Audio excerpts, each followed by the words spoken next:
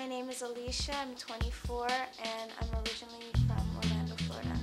I'm not modeling, um, I write a lot of music, sometimes I go in the recording studio, and that's basically it. Because I can market myself pretty good, I like to take pictures, and on my Facebook, a lot of people comment on my pictures, so I just keep taking more pictures and putting them up.